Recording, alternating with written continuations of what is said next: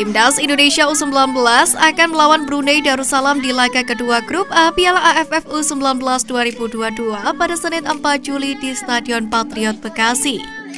Untuk pertandingan malam nanti, Timnas Indonesia U19 diwajibkan meraih kemenangan untuk menjaga peluang ke babak selanjutnya. Di mana banyak hal yang mesti dibenahi oleh Marcelino Ferdinand dan kawan-kawan untuk lawan Brunei nanti malam, terutama saat penyelesaian akhir. Jelang laga melawan Brunei, gelandang timnas Indonesia U19 mengaku mendapatkan instruksi khusus dari Sintayong. Tidak hanya itu, juru taktik asal Korea Selatan itu juga akan merombak skuad Garuda demi mengamankan poin penuh di laga kedua ini. Memang saya mengakui finishing kami di laga ini kurang baik. Untuk cetak gol perlu timing umpan yang baik dan kecepatan bola juga harus pas. Itu yang akan kami perbaiki.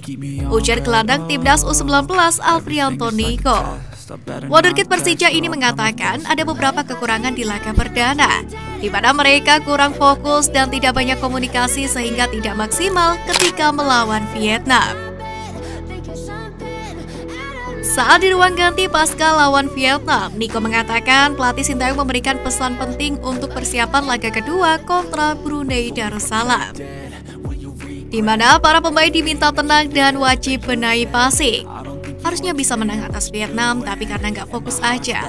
Coach Sin bilang harus passing lebih baik lagi. Memang Brunei kalah besar hari ini, sedangkan kami seri. Jadi memang kami harus memikirkan segala sesuatunya.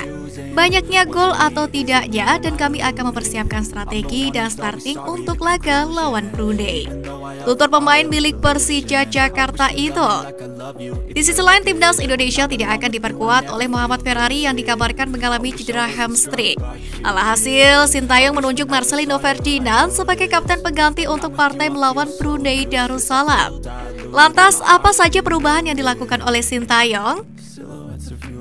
Menghadapi Vietnam, Sintayong mengandalkan skema 352 yang bukan tidak mungkin bakal ia pakai lagi untuk starting melawan Brunei nanti malam.